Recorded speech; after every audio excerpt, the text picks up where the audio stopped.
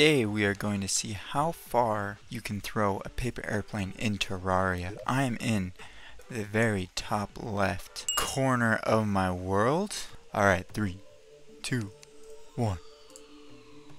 There it goes. Okay, still going strong.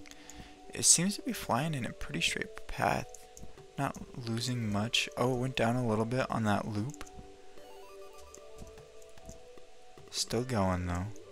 Oh, I lost my wing power. Okay, I'm gonna drop down and get some wing power back. Okay, still following it.